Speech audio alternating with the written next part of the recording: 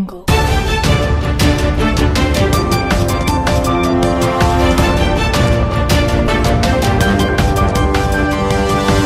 Audio Jungle.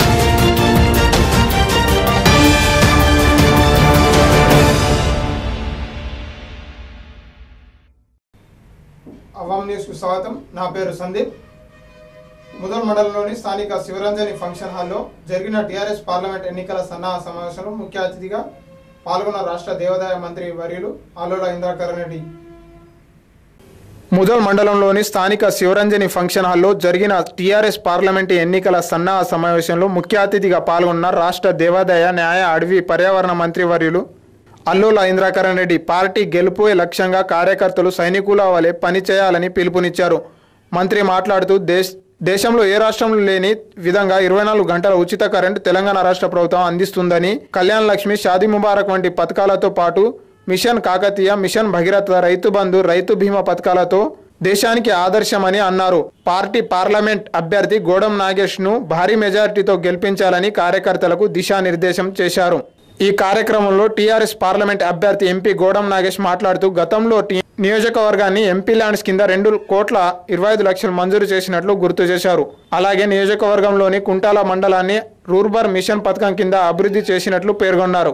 ప్రస్తుతం తెలంగాణలోని అన్ని పార్లమెంట్ స్థానాలను టీఆర్ఎస్ కైవసం చేసుకుంటే దేశ రాజకీయాల్లో తమ పార్టీ తనదైన ముద్ర వేస్తుందని క్రియాశీలక పాత్ర పోషిస్తుందని ముఖ్యమంత్రి కేసీఆర్ ఆధ్వర్యంలో దేశ రాజకీయాల్లో గుణాత్మక మార్పు తీసుకురావచ్చని పేర్కొన్నారు. కార్యకర్తలు సైనికుల వలె పనిచేసి తన గెలుపుకు కృషి చేయాలని కోరారు. ఎంపీ ఎంపీపీలు ఎంపీటీసీలు ముఖ్య కార్యకర్తలు పత్రికా విలేకరులు సోదరులు సోదరుమణులు అందరికి కూడా ఉదయపూర్వకంగా నమస్కారం తెలియజేస్తా ఉన్నాను ఈ ఒక్క రోజులో అంటే మనము ముదోల్ కాన్స్టిట్యూన్స్లో మళ్ళీ ఇప్పుడు ఇంకా లోకేశ్వర మండలము కుంటాల మండలం కూడా అక్కడ కల్లూరులో మీటింగ్ ఏర్పాటు చేసుకున్నాము.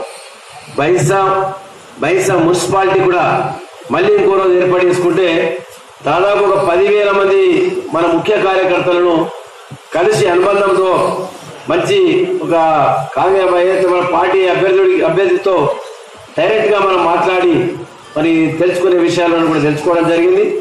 ఈ సందర్భంగా తాను చెప్పినట్టు ఇప్పుడు యాభై ఒక్క మండలాలు సిరిపూర్ కాగజ్ నగర్ బెజ్జూరు నుంచి బాసర్ వరకు నాలుగు వందల యాభై కిలోమీటర్ ఉంటుంది.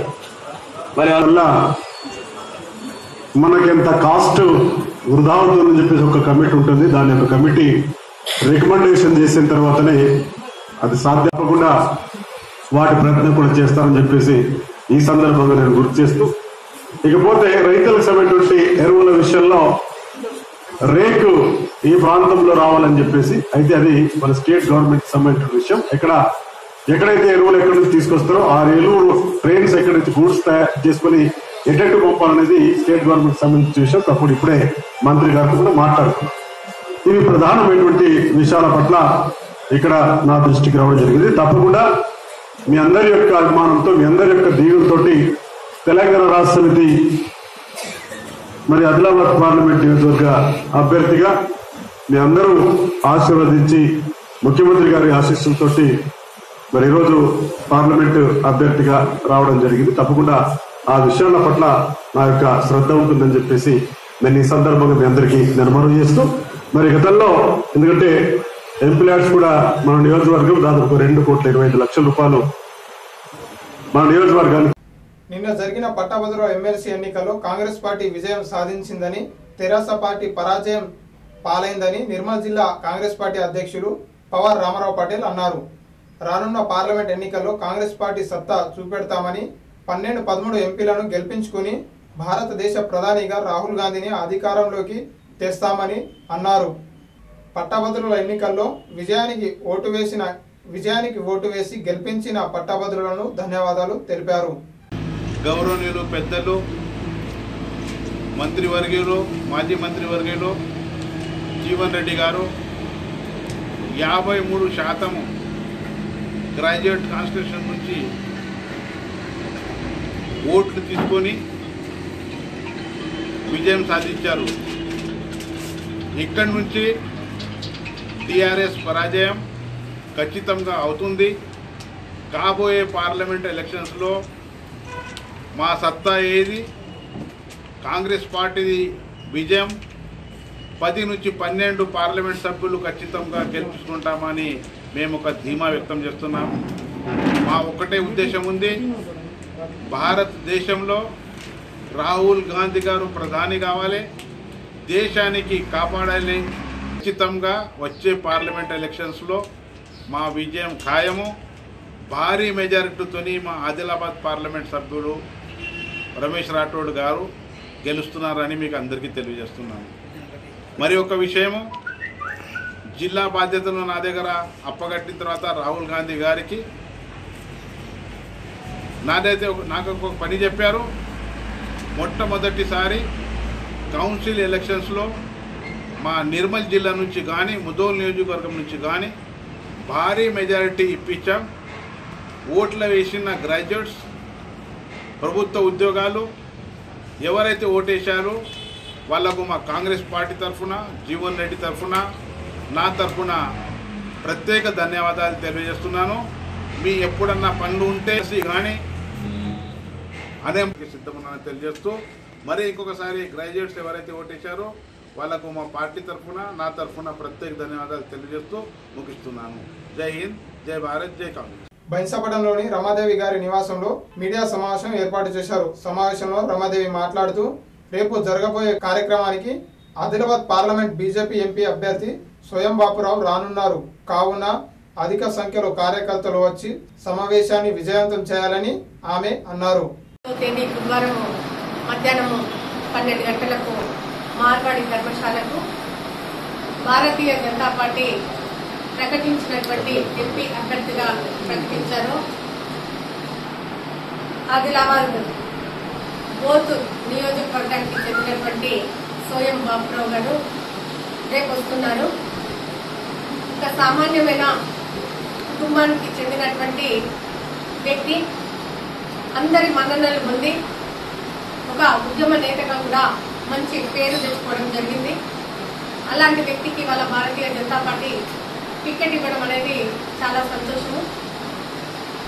ఏదైతే ఇప్పుడు క్యాన్వసింగ్ ఉందో దానికోసం అని చెప్పి ముదోల్పు రేపు రావడం జరుగుతుంది.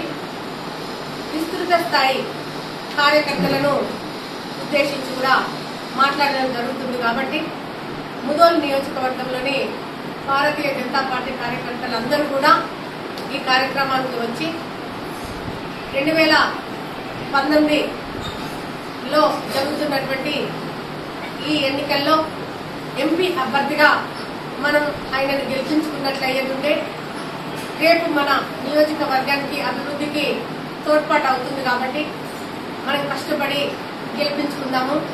అదేవిధంగా మొన్న జరిగిన ఏవైతే శాసనసభ ఎన్నికలు ఉన్నాయో అవి రాష్ట్ర పరిస్థితుల దృష్ట్యా ఏర్పడ్డవి. కానీ ఈ ఎన్నికలు దేశానికి సంబంధించిన ఎన్నికలు కాబట్టి దేశం అభివృద్ధి కావాలన్నా దేశ రక్షణ కావాలన్నా కూడా వాళ్ళ నరేంద్ర మోడీ నాయకత్వం ఉంటేనే అది సాధ్యమవుతుందని చెప్పి భారతదేశ ప్రజలు కోరుకుంటున్నారు కాబట్టి అదే దిశలో మనందరం కూడా కష్టపడి పనిచేసి సోయం బాబురావు గారిని మనం గెలిపించాలి.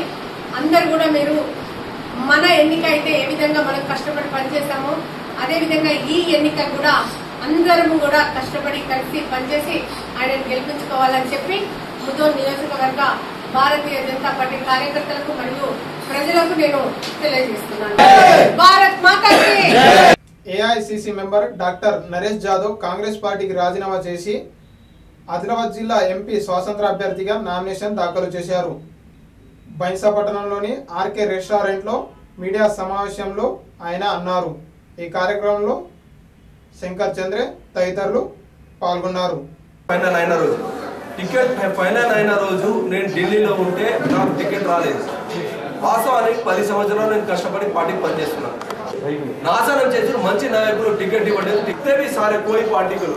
న్యూట్రల్లో టికెట్ నేను मैं डेवलपमेंट के लिए आज आदिलाबाद जिला में मैं बोलता हूँ मैं एमएलए ने कोई कोई लीडर फिफ्टी प्रोजेक्ट होता बोल के किसी को नहीं आया दिमाग पे लेकिन दो ఈరోజు ఎన్నికల ప్రచార భాగంలో బైసా పట్టణానికి రావడం జరిగింది ఏదైతే ఆదిలాబాద్ జిల్లాలో కాంగ్రెస్ పార్టీలో జరుగుతున్నటువంటి కుతంత్ర రాజకీయాలను ఎండగట్టు వాస్తవాలను ప్రజల దృష్టికి తీసుకుపోవడానికి.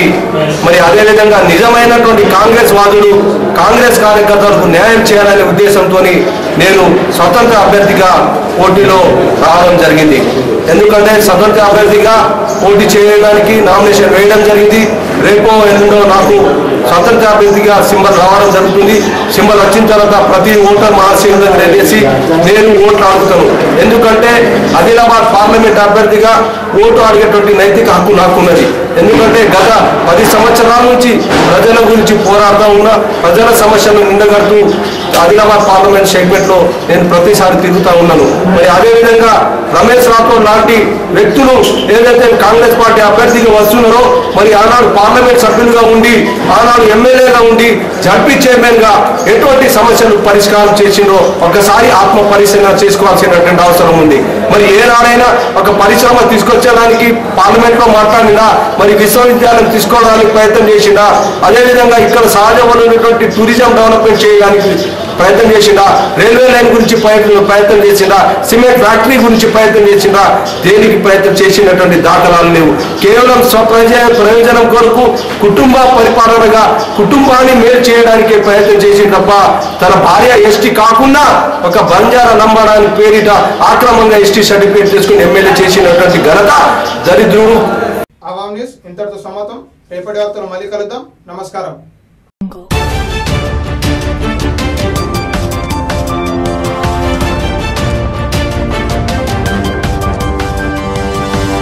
You.